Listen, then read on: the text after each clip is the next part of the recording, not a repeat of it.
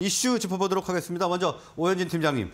자, 오늘 스마트폰 시장과 관련된 IP 부품도 준비를 해주셨는데 어떻게 접근하면 좋을까요? 네, 그동안 장기적인 불황을 겪었던 스마트폰 시장이 내년부터 완만한 회복세를 보여줄 것으로 예상이 되고 있기 때문에 IT 부품주의 투자 심리 개선도 가능할 것이다라고 판단을 하고 있는데요. 어, 올해 연간 스마트폰 출하량은 현재까지 11억 6천만 대 정도를 기록하고 있습니다. 이 수치는 2013년 연간 출하량 10억 4,900만 대 이후에 10년 내 네, 최저 저치입니다. 그래서 내년에는 기저효과가 발현될 것으로 보여지고 있기 때문에 올해보다는 분명히 스마트폰 판매량이 개선될 것으로 판단이 되고 있고요. 어, 삼성전자의 갤럭시 S23 시리즈 같은 경우에는 글로벌 2,500만 대 판매량을 돌파했습니다. 그래서 전작 대비해서는 한 23% 판매량이 증가한 것이다라고 보시면 되겠고요. 특히 하이엔드 제품이라고 볼 수 있는 갤럭시 S23 울트라의 판매가 어, 상당히 좋았습니다. 그래서 출시 6개월 이후까지도 양호한 판매량을 유지를 하고 있고요. 어, 갤럭시 Z 플립이라든지 폴더라든지 폴드 같은 경우에도 판매량을 계속해서 유지하고 있기 때문에 삼성전자의 스마트폰 판매는 양호하다라고 볼 수 있을 것 같고 또 스마트폰 디지털 치료기기 시장이 성장하고 있습니다. 그래서 스마트폰을 이용한 뭐 우울증 관리라든지 치료를 가능하게 하는 앱 개발이 현재 활발하게 진행되고 있고요. 소프트웨어 기반의 개인 맞춤형 디지털 치료기기 시장도 어, 성장하는 모습들 확인되고 있습니다. 그래서 앞으로는 이제 스마트폰 앱을 활용한 뭐 바이오리듬 체크라든지 어, 진단 이런 부분들 부분들이 가능하기 때문에 이것이 이제 스마트폰의 또 고급화 요소 중에 하나가 된다라고 보고 있고요. 삼성전자는 내년에 AI 스마트폰 출시를 준비하고 있습니다. 그래서 카메라 어, 고화소화 경쟁은 이제 거의 한계에 다다랐다라고 보시면 될 것 같아요. 그래서 프리미엄 스마트폰은 향후 AI 기술을 기반으로 해서 성장할 것으로 보이고요. 이런 부분들은 스마트폰 부품 업체에 새로운 기회로 작용할 수 있다라고 보고 있습니다. 그래서 지금 IT 부품 업체는 전체적으로 괜찮게 보고 있는데 또 그중에서 탑픽은 삼성 전기로 제가 선정해 봤습니다. MLCC와 반도체 기판의 매출이 증가하고 있죠. 그래서 스마트폰을 비롯한 어, 주요 IT 기기 시장 성장에 따른 수혜를 받을 수 있을 것 같고 갤럭시 S24를 시작으로 글로벌 스마트폰에 on-device AI가 적용이 됩니다. 그래서 고부가 MLCC에 대한 매출이 견인된다라고 볼 수 있고 내년 영업이익이 8천억 이상으로 완만한 회복이 전망이 되고요. 또 중국 시장의 스마트폰 업체의 유통 재고도 감소하고 있습니다. 이게 바로 어, 글로벌 스마트폰 시장의 회복 회복 조짐이다라고 볼 수 있고 내년 1분기부터는 그 신모델 효과도 본격적으로 반영된다라고 볼 수 있고요. 또 프리미엄 가전과 자동차용 AI 적용이 확대되고 있습니다. 그래서 모바일 AP에서의 고사양이 필요할 수밖에 없고 이게 곧 반도체 기판의 미세화로 연결이 될 수 있는 부분이죠. 그래서 고용량 MLCC에 대한 수요가 꾸준하게 증가할 수 있는 부분도 삼성전기의 매력적이다라고 보시면 될 것 같습니다.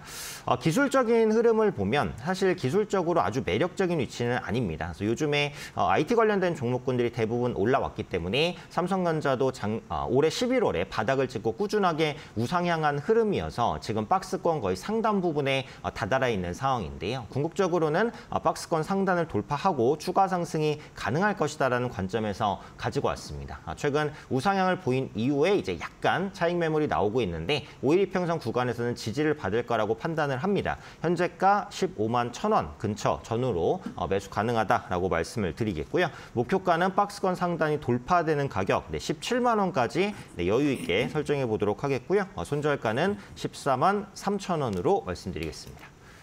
네, 스마트폰 시장 회복세와 더불어서 IT 부품도 계속 주목할 필요가 있다 분석을 해주셨고요. 관련 종목으로 삼성전기 말씀을 해주셨습니다. 목표가 17만 원 제시를 해주셨습니다.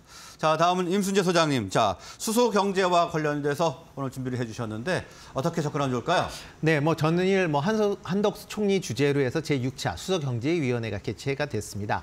뭐 그동안 이제 수소 관련돼서 여러 가지 이제 얘기들이 나왔는 나와 나오긴 했지만 실질적인 뭐 진척이 없었기 때문에 수소 관련 주들이 전체적으로 좀 약세를 보였는데 어저께 나온 내용을 본다라고 하게 되면 뭐 청정 수소 인증 관련된 부분, 그다음 에 수소 산업에 대한 소부장 지원 부분, 그다음에 수소 전기차에 대한 보급 방안, 그다음에 뭐 수소에 대한 뭐 R&D 관련된 부분들이 같이 논의됐다라고 보시면 될 것 같습니다.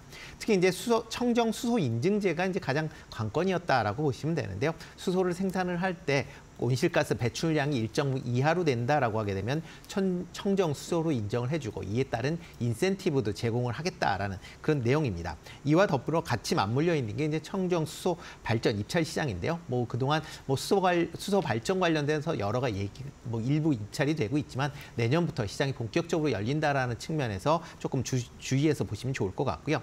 이와 더불어 이제 수소차 특히 이제 상용차 중심으로 수소차의 보급을 확대하겠다.